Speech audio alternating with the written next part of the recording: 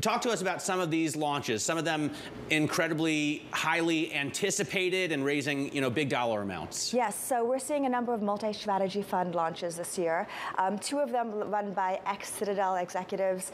Um, one of them expected to launch with about $2 billion later this year, another one with about 1.7. So these are pretty sizable launches in this environment, both of those multi-strategy, multi-manager funds. Um, and then there's uh, Bobby Jain over at Millennium, who's considering launching a hedge fund next year. And we hear that if he does go ahead with those plans, he could be one of the biggest launches that we've seen in years. Mm, Hema, uh, good morning. What does this tell us then that these funds are able to launch in such a sizable way?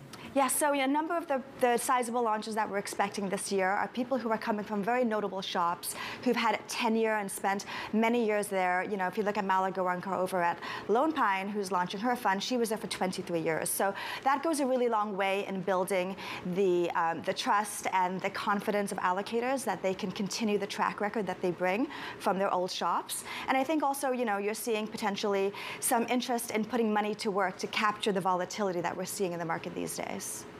Mm, we certainly talked to a number of investors who might be worried about higher interest rates or recession in the US and, and have many reasons to be maybe cautious in the uh, second half of this year.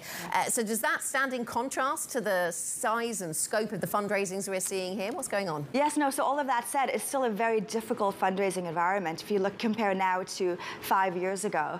Um, so while there may be some interesting opportunities to put money to work, you are still seeing overwhelmingly most of the money coming into the industry going to the very big name funds that have already been around for a very long time.